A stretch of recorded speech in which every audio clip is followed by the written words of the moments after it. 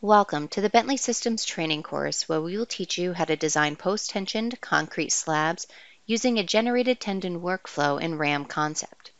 In this video we are going to be focusing on generating your post-tension tendons and performing your initial calculation while specifying your calculation options. Now for the generated workflow approach, you're going to model all of your banded or distributed tendons in your tendon parameters layer, as well as defining their profile points. Then to complete this process, you're then going to want to generate your program tendons using the generate program tendon command. Now this will be used to create tendons on the generated tendon layer from the objects that were created on the tendon parameters layer. To use this tool, we're going to go up to our standard toolbar and then click on the Generate Program Tendons icon. Now it's going to let you know that tendons were created and we'll go ahead and click OK. Now to review your tendon layout, we're going to go to the Layers menu bar item. We're going to select our latitude pre-stressing and then our generated latitude standard plan. And we can see that all of our tendons have now been created. We're going to repeat this process for the longitude direction as well.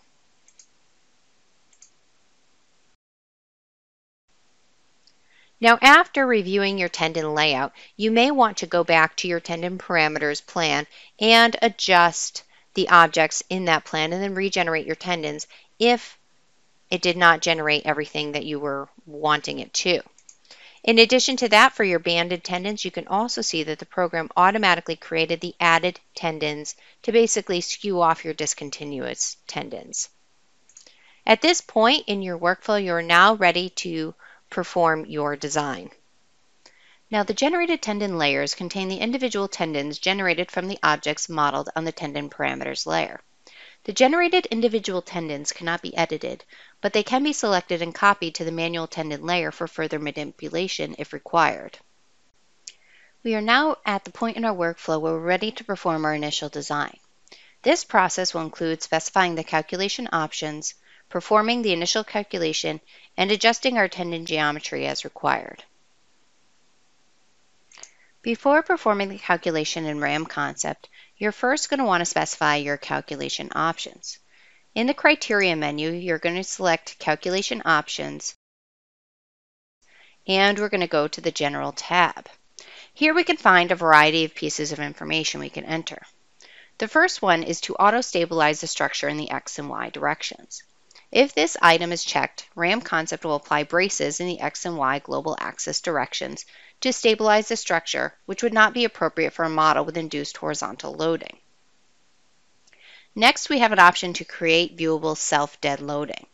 If this item is checked, RAM Concept will illustrate the self-dead loading on the self-dead loading layers. This option will have no effect on the calculation. Next, we have to include supports above the slab in self-dead loading. If this option is selected, RAM Concept will include the weight of supports which will be either columns or walls, above the slab as loads. Now, as a word of caution, if you have modeled any columns or walls above the slabs as dummy elements to assist in the modeling of any loads on your model, you may want to ensure that this option is not selected. Next, we have to include the tendon component in the punch check reaction. If this option is selected, RAM concept will include the vertical component of the tendon force within the punch check zone, which often reduces the punching check reaction. Next, we have the check capacity of longitudinal user reinforcement option. If this option is selected, RAM concept will perform a check of the existing user reinforcement and post-tensioning without adding any additional program reinforcement. All failed locations will be reported in the status plans. Next, we can select a design and live load reduction code, and here you're going to want to select the appropriate design code and live load reduction options. Finally, we have our zero tension iterations options, which pertain to the design of mat foundations, and also our reinforcement layout and detailing parameters. These options will control how RAM Concept creates the reinforcement layout and plan. After review and customize all of your calculation options, including your design code and live load reduction parameters, we're going to click OK. We are now ready to perform the full calculation. Up in the standard toolbar, we're now going to click on the Calc All icon to run through the design. Now after you change any model geometry or loading in RAM concept, you will need to regenerate the finite element mesh before proceeding to the full calculation. Now during the calculation, you may get a series of analysis warnings. We're going to review all of these warnings and address them before we do our final calculation.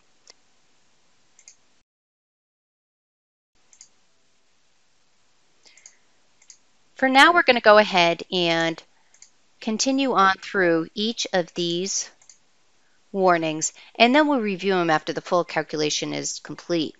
Now, the post-tensioning slab design in RAM concept using the generated tendon approach will be an iterative process, so you may have to perform a calculation, review your warnings, make some adjustments, and then reperform it to see how you're doing.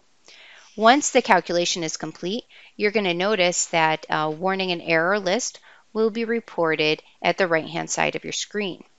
To achieve some additional information on each of these items, you can just double click on each one and it'll go ahead and highlight the tendon that is causing that particular warning or error. Let's go ahead and attack this first group of warnings. Here we're getting several of the tendons within our slab depressions have a radius that is less than the minimum allowable. The minimum allowable tendon radius is defined within the materials criteria, so we have two options here. We could either adjust the profile points for these tendons or we can adjust our material properties. For these particular tendons, let's go ahead and adjust their geometry. Now again, on the generated tendon layer, we can't actually modify the tendon layout, so we're going to have to go back to our tendon parameters layer and then regenerate our tendon plan. So in my layers menu, I'm now going to select latitude pre-stressing, and then I'm going to go to my latitude tendon parameters standard plan. I'm going to zoom in at these locations, and what I'm going to do is I'm going to go ahead and select those profile points that basically go from the main slab to the slab depression. I'm going to right click and say selection properties. And then I'm going to increase their cover requirements to 3.25. And then that should go ahead and adjust those a little bit more appropriately. Let's go ahead and proceed on with the list. And here we have a tendon that's outside of the slab.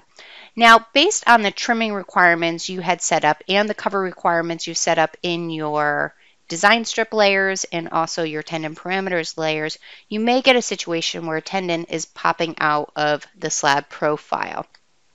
In that situation, you're going to be given this warning and you are going to want to adjust your profile points. Now this is occurring for our longitude tendon, so I'm going to go to Layers menu. I'm going to select Longitude Pre-Stressing and then again for the tendon parameters plan. Now here what I can do is I could select this option here for my support polylines. I'm going to right click and do selection properties again and here I'll go ahead and increase their cover requirements. Now let's go ahead and proceed to the next type of warning. Here I have another tendon radius issue. This is happening for my longitude tendons. So again, I'm going to go ahead and adjust my profile points.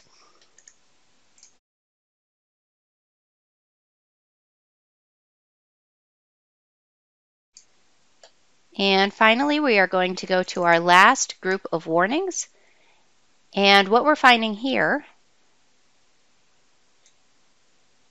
is that we have a design strip with conflicting strip configurations. Basically, this warning is generated for the slab within the pour strip because between grid lines 5 and 6. Since the design strips modeled in this area are defined as a reinforced concrete slab, while the rest of the slab is defined as a post-tension slab, we are issued this type of warning. This model and configuration was intentional, so we're going to go ahead and ignore this warning in this and future calculations.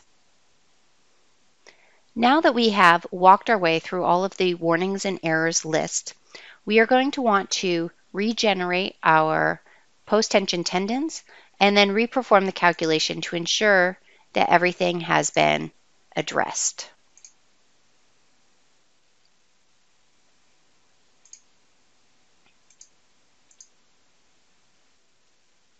Now, as the calculation is performed, we're still getting the one analysis warning that one strip has a different configuration, and we're going to go ahead and bypass this because, again, our modeling was intentional.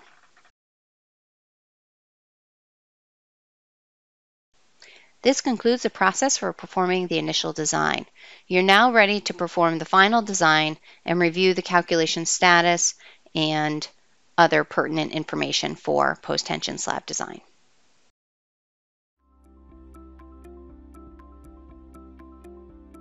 If you found this video helpful, please give it a like. If you want to see more such series, consider subscribing to our channel.